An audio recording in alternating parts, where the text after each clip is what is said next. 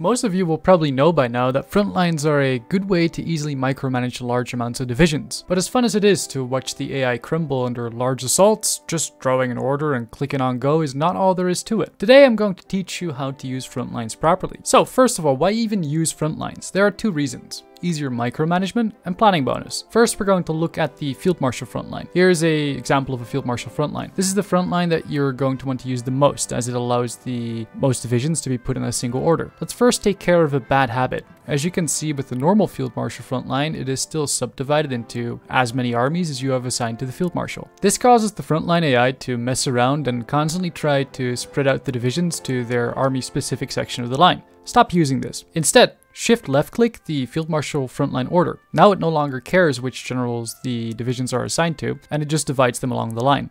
This causes the frontline AI to be less confused, so it's generally just better to use. While you have an active Field Marshal frontline, you can still assign individual armies their own frontlines. This can be useful if you're fighting on multiple fronts. Just click on the general, unassign all units from their active order, and draw a frontline for that army specifically wherever you want it. This, however, is not the most important reason to have a frontline. The most important reason to use frontlines is to get planning bonus. This is especially important on your high stat units such as special forces or tank divisions. This is also where views on the game may diverge. Some players just play play the game to enjoy it, but if you want to get better at it, you will want to pay close attention to the next part. In order to micromanage your units into creating effective encirclements and to kill your enemy fast, it is important that you do so manually. The easiest way to do this is to combine using the Field Marshal frontline with using the garrison order on the general that's in charge of your special divisions. You can also keep the units unassigned, but this might be annoying when creating new Field Marshal frontlines as they'll automatically get assigned to the new one. Because the units are not assigned to a frontline, they won't automatically move up and spread out. This way you can stack them up on the front line in the perfect position to encircle enemy troops. The best way to do this is to stack up your divisions so they fill out combat width,